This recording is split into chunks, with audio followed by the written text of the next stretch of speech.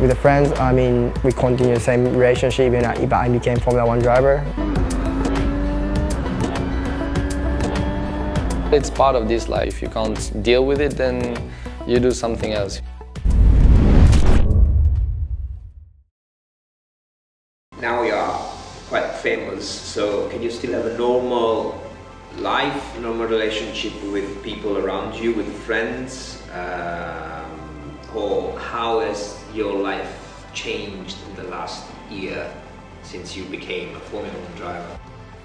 It does change um, a lot, you know, a good way, a lot of good way, good things uh, went, but you know, a couple of things that I felt a little bit worse. But most of things I felt good, of course. With the friends, I mean, we continue the same relationship, even I, I became Formula One driver.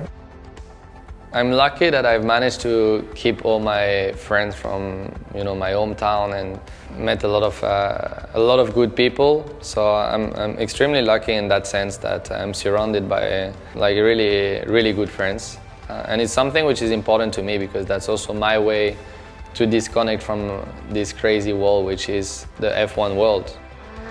They don't act me or they don't treat me like a Formula One driver, just as a person. So yeah, just uh, with a friend, it's not just normal. It's almost as a previous years, before even before I became Formula One driver, which will help me a lot, and also which I'm really happy with that uh, with that relationship because I can be always honest and um, open myself a lot um, outside of the Formula One, um, which will always me re relax and help my also mentality as well. Yeah.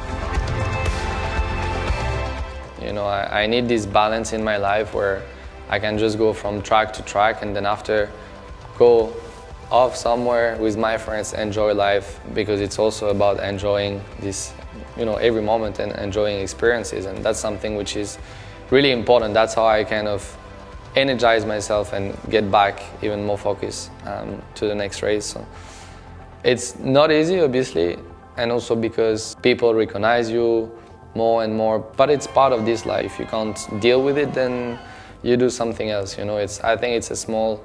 I would not even call it disadvantage, but um, you know, it's. You got to cope with it, and I'm kind of cool with it because people are nice. You know, it's not like they come to me to fight me or, or with a negative vibe. Like it's most of the time for picture, autograph. So it's uh, it's also like a nice gesture or attention. So it's. Uh, I'm cool with that.